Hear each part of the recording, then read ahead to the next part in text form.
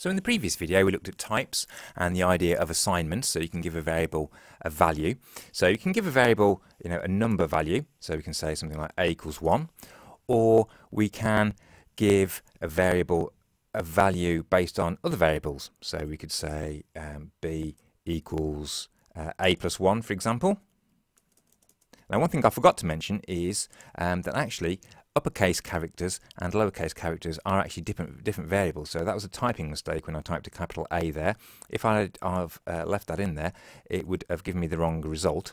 So B equals A plus 1. So now if I print uh, B, what will that give us? Well, it'll give us 2 because it's uh, A is 1 and then we add 1 to that and that gives us um, 2 obviously and then we can, so that's a mixture of variables and numbers. You can also do something like C equals uh, A plus B. And if we print C, then that'll give us 3 because A is 1, B is 2.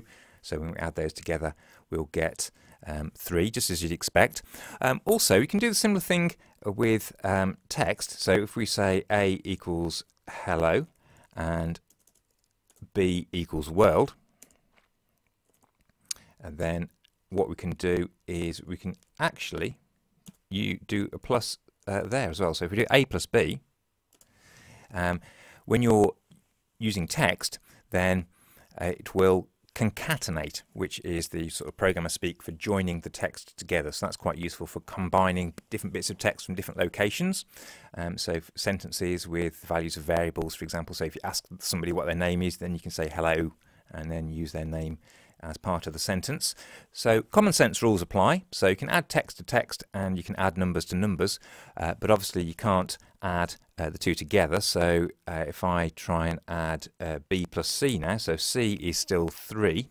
So the variables uh, don't change their values unless you explicitly uh, give them a new value. So if I do b plus c, so b is hello is world and c is 3, what it's going to say is error. And if you look at what the error is, it says you can't concatenate string and integer objects. So you can't uh, join together numbers and text uh, in that way. So that's it doesn't like that. You can use that um, idea of coercion or sometimes called casting if you want to if you really want to do that. So what you could do is you could say B, which is the world uh, word world, and you could add on um, you could use the command str to force C to become a string, but you can't add numbers and strings uh, together on their own. So that's sort of basic calculations. Um, what you can also do is give a variable a value and then adjust that value. So this idea um, seems a bit alien if you're new to programming. So if you did something in a game that had a score, you started off with a score of zero and you then um, did something which would cause your score to increase, you need to add one uh, to the score. So if you can do that quite easily in most programming languages like this. So score equals score plus one um, looks a little bit unusual if you're used to um, maths because in maths the equal sign means is equal to so, and obviously a number can't be equal to the same number plus 1. But remember, as I said in the last video, in Python the equal sign uh, doesn't mean is equal to, it means make it equal to. So the bit on the left hand side, so the first use of the word score is the new value of score and the one on the right is the old value. So the way to read that would be let the new value of score be the old value of score plus 1. So reading it from left to right, score becomes score plus 1. And if we uh, print that now, so notice it doesn't output anything when you do that, um, then score is now 1 because it was previously 0 and we added 1 to it. Um, most programming languages um, have some sort of shorthand. So, uh, for example, C and JavaScript have something like that for adding 1.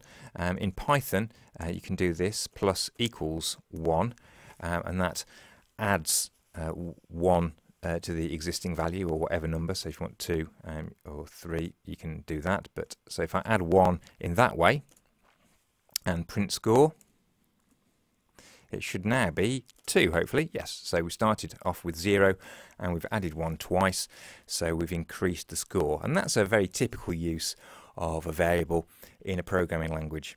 So at the moment we're using the immediate mode. If you use your variables in a program, the um, idea is pretty much the same. So you can do things like this, uh, a equals uh, 2, b equals 3.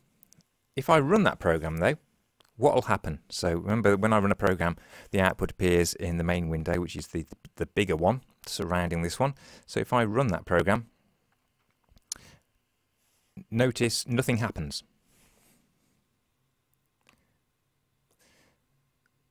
So nothing happens because I haven't told it to output anything. So if I did print a plus b, for example, then uh, something would happen. So if I run that now, I get 5, which is what I expect because I present, pr printed um, the result of that calculation. So the running of the program always goes from the top to bottom. So if I then do something like this,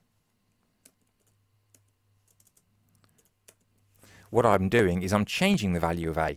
So now if I print a plus b, I'm actually only going to get 4 because a is now 1 by the time I come to print it.